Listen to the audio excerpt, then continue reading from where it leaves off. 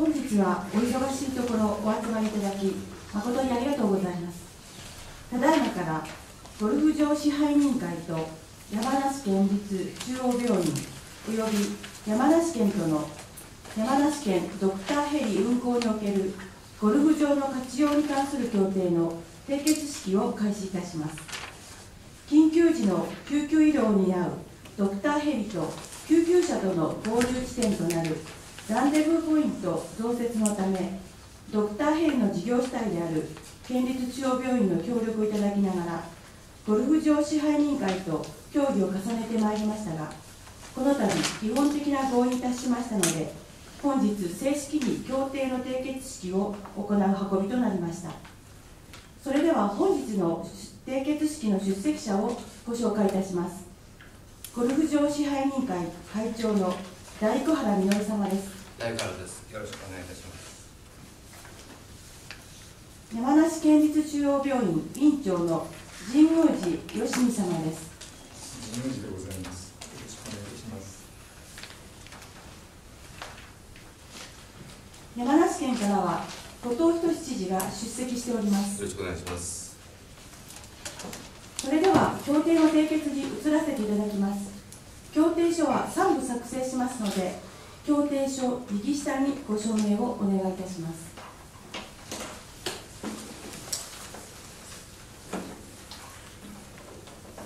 それでは大大工原会長、神宮神長、後藤知事、お手元の協定書へのご署名をお願いいたします。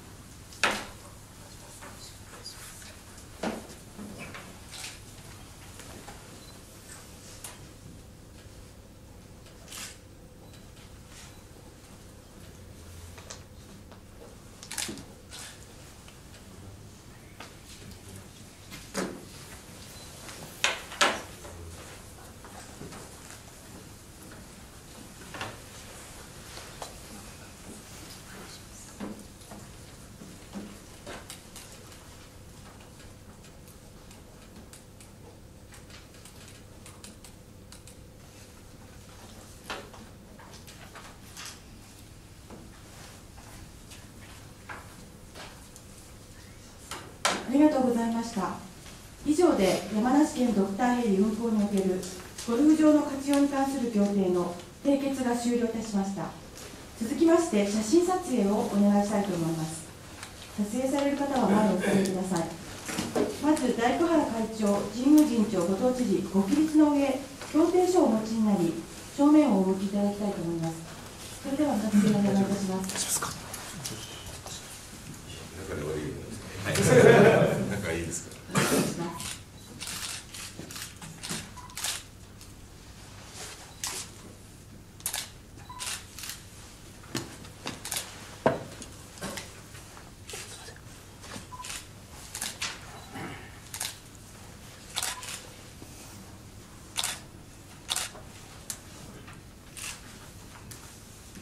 よろしいでしょうか続きまして、協定書を机に戻していただき、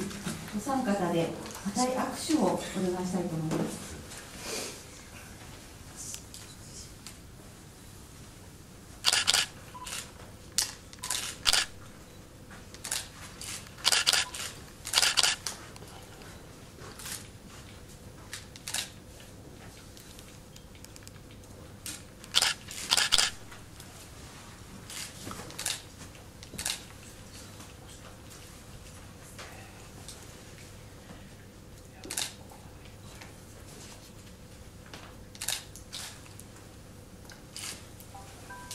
それではご着席いただきたいと思います。ありがとうございました。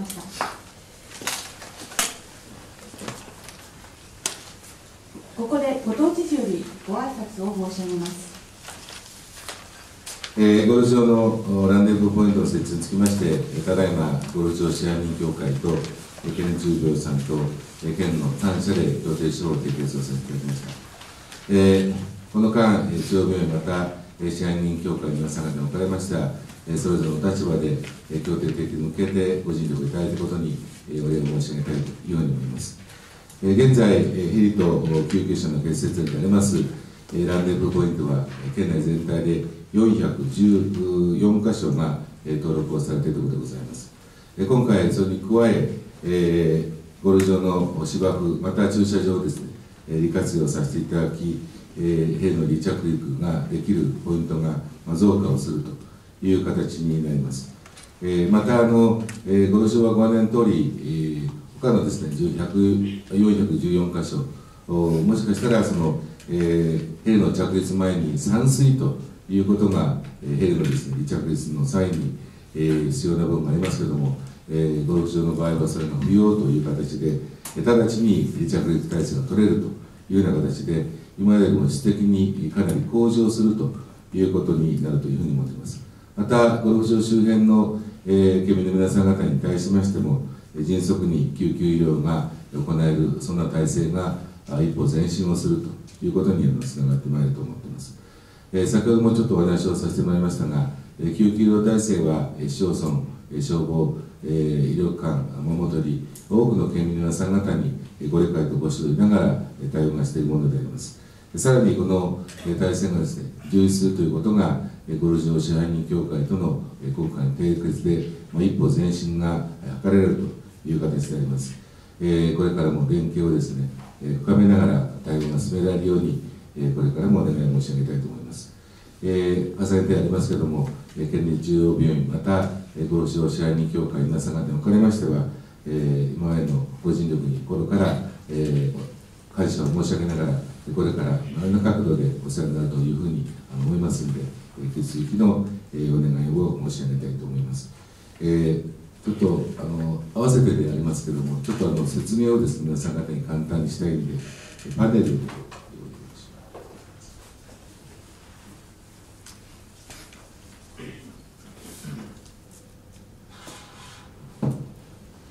えー今回のおドクターヘルの運行体制の強化と、ランデブポイントの増加という形で、えー今までよりも少し、えーというか、かなり医療救急医療体制が充実強化したという形で、今回3つにですね、まあまとめさせていただきました。えー先ほど、えードクターヘルの屋上給施設の運行開始という形で、えー皆さん方にもお話を、えーさせていただきましたけれども、まあ、これによって時間的なロスがなくなっていく、えー救命救急のレスポンスの強化されるという形で、えーやります。具体的に言えば、えー再出動前の時間がですね、えー3分の2削減をされるということや、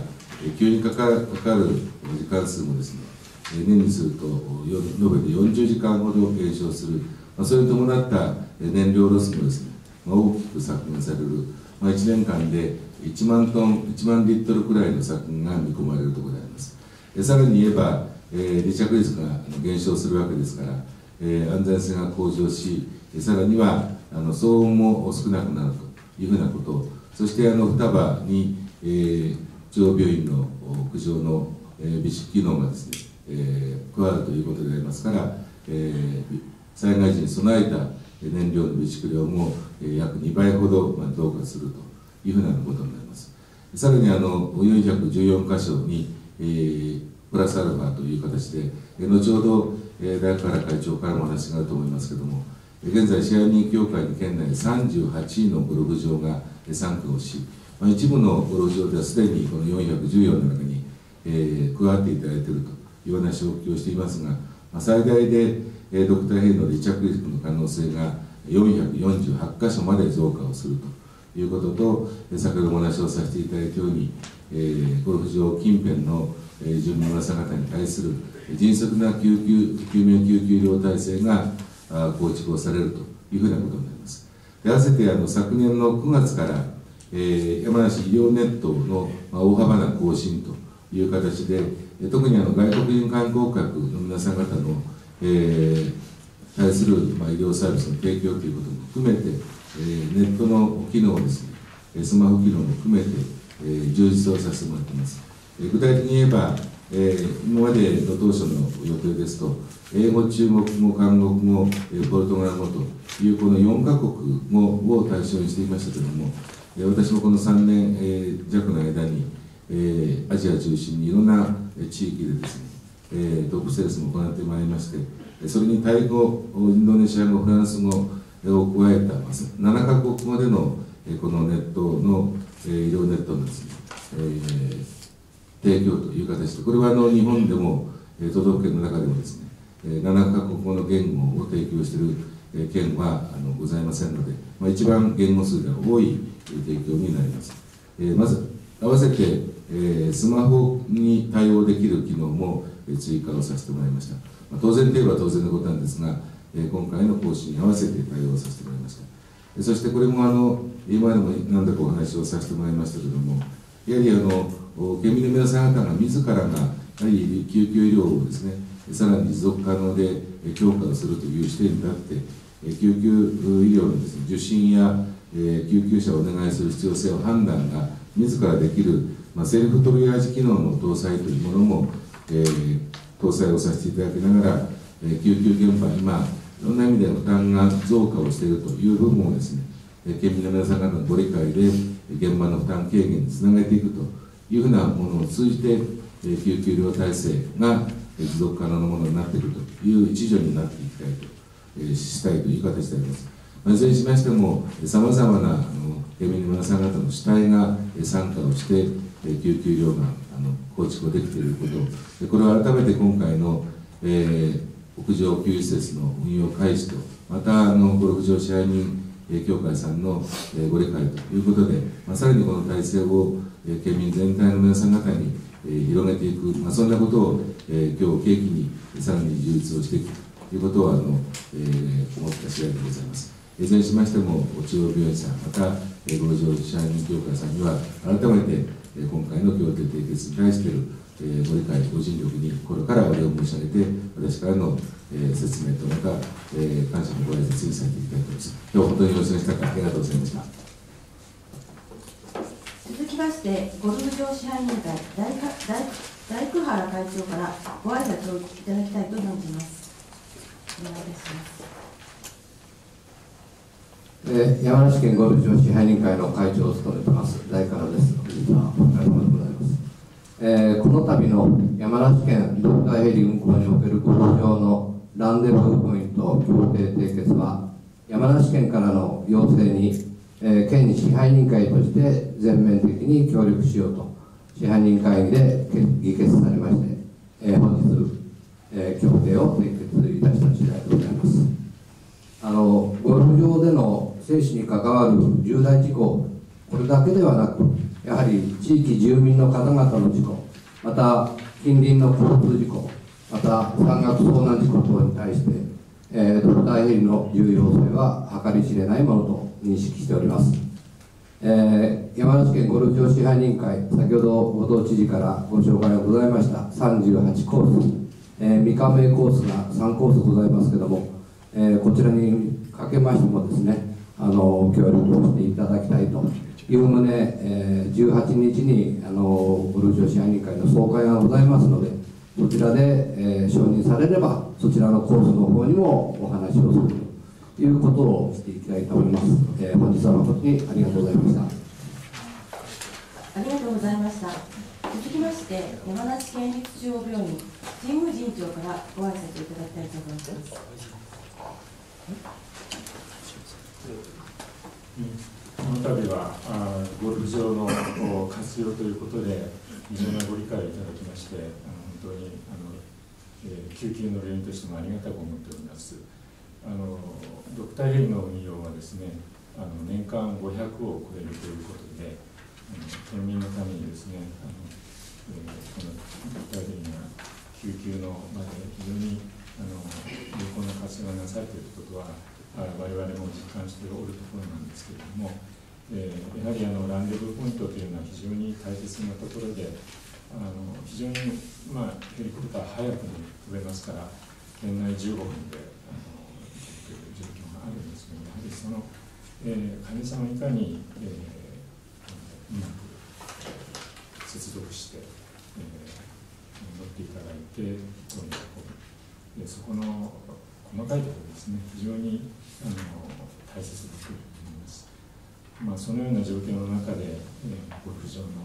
えー、ナンベルポイントとしての使用をご評価いただいたということは、あの非常に救急に携わる医療機関としても、えー、嬉しく思っております。本当にありがとうございます。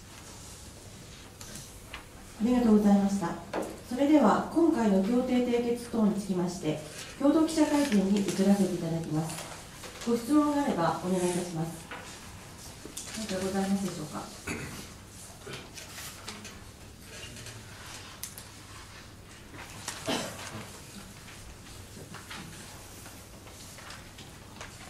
ああの朝日新聞中澤と申します。あの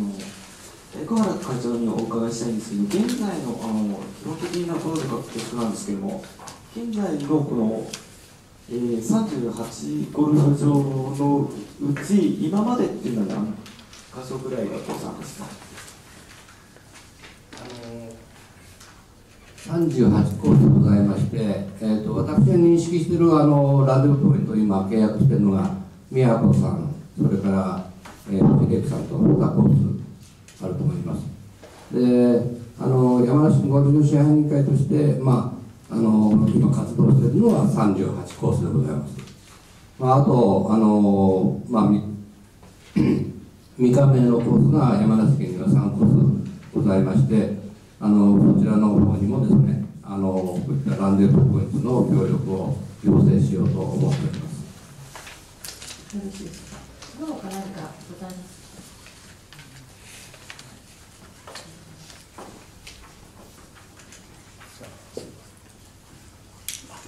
NHK 横山と言います。あの大工さんに引き続き伺いたいんですけども、ランデブーポイントとしてゴルフ場を活用するときの、実際に活用する上でのその課題というか、何かその必要になってくる部分っていうのはありましたらあのまあ、当クラブもですね、一昨年、あのドクターヘリを、えーまあ、使ったというか、あの要請をしてですね、えーえー一名救急搬送しましたけれども、あのゴルフ場、ドクターヘリ、すごくこう小型なんですよね。ですから、あのティーグラウンド、まあ、下が平らなところでなければダメなんですけども、あのティーグラウンドとかフェアウェイとか駐車場ですねあのそういったところを利用していただいてますのであの全然こうまあお客さんが営業中でございますのでお客さんがいますけどもそれは係の者が誘導してあのちょっと選手をしてできるというようなことですので何ら全然問題はございませんはいよろしいでしょうか。その他。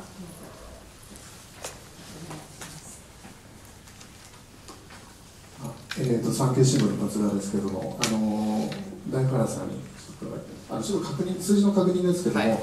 あのえー、と448に増えるわけですから、これ差が差のまあ34、あの4現状414の差の34、これがだからゴルフ場の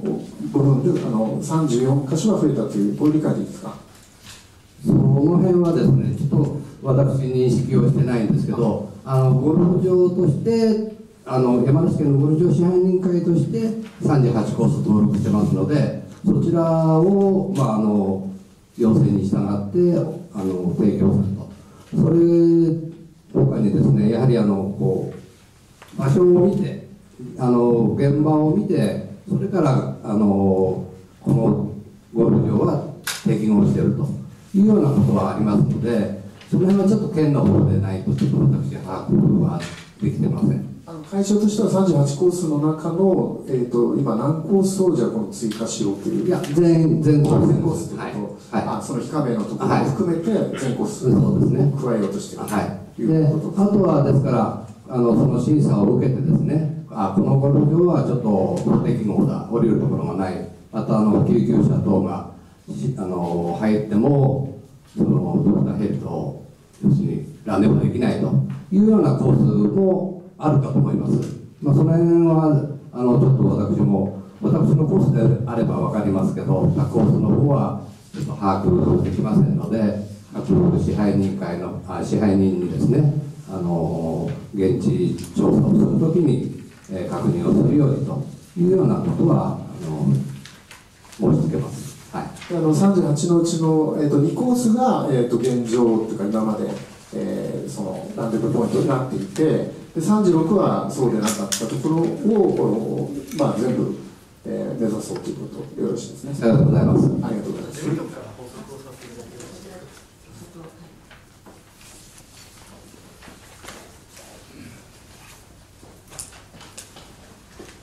義務箇所でございます。あの先ほどお38のゴルフ場のうち2箇所ということでございますけれども、今4箇所がですね、あのランディングポイントに登録されているというようなことでございます。で、あの会長から先ほどすべての原則ゴルフ場をという方針で、えただ今後ですね、あの消防等が入りまして、先ほど会長からもおっしゃられたように技術的な観点あるいは場所等の現地確認を行って、技術的に降りられるかどうかという確認を行ってから、あまあポイントとしてセットいたしますので。えー大方針としてしましては、すべてをこうおあのポイントとして登録する、ただ技術的な観点は当然考慮しているというようなことでございます。よろしいでしょうかあ、じゃあ、えっ、と、いいですか？じゃあ、他、他あれば、他の社、えーなければ、ちょっと追加で。あ、あります？あ、じゃあ、どうぞ。はい。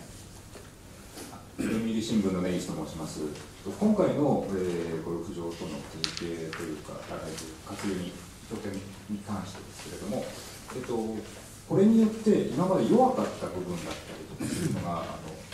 あの補完できたりようなするような地域がもしあるあれば教えていただきたいんですけれども。あのまた細かくはあのそれぞれの立地がありますからあの、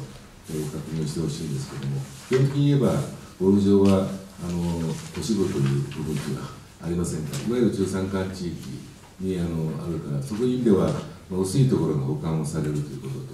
当然あのえ今までの414箇所にも当然あの、えーいわゆるそのえー山間地も当然ありますけれども。まあ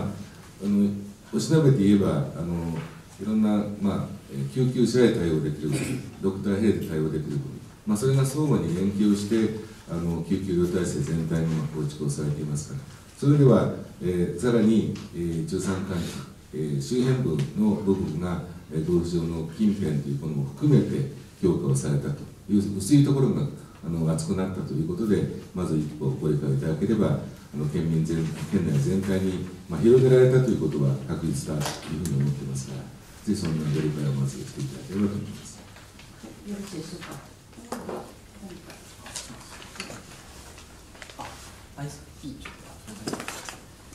ちょっと基礎的なところになるのかもしれないですけど、今回、そのドクター・ヒルシゴルフ場をランデポイントするところの利点として、この散水不要ポイントが増えたということで、ちょっとそのそもそもこの散水っていうのがどうなぜ必要で、それがなぜここだといらん必要がなくなるのかっていう、ちょっとすみません、基本的なところじゃあ事務局からお願いいたします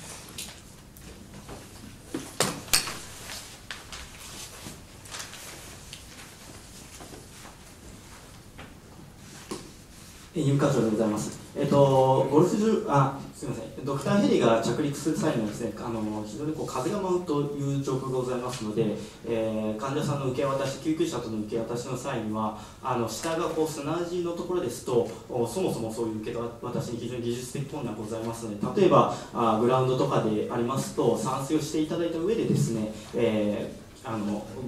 ヘリの方に受け渡すということが必要になりますけれども、先ほど会長からもお話ございましたように、基本的にはフェアウェイ、あるいはティーグラウンド、そして駐車場ということになりますと、砂が舞うことがそれ去りにくいものですので、えー散水不要ポイント、なので、えー散水が必要なく、直ちに降りられる体制というのが大きなメリットかなというふうに思っています。よろしいでしょうか。そその他では